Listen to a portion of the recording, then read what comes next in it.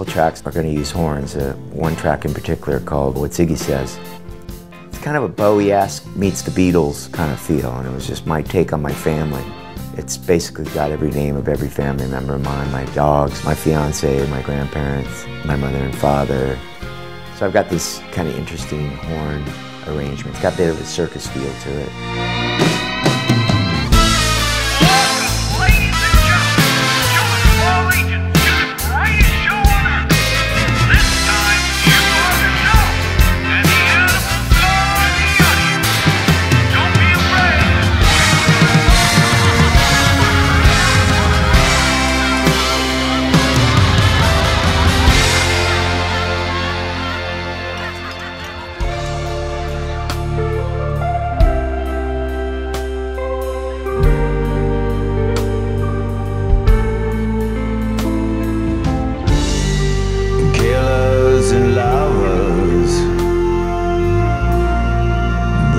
Through your mind.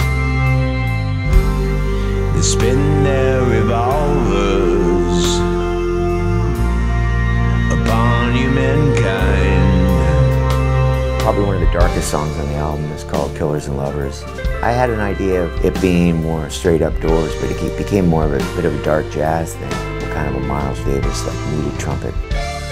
It's got this really out B3, almost kind of King Crimson keyboard thing going on. People are gonna be like, what?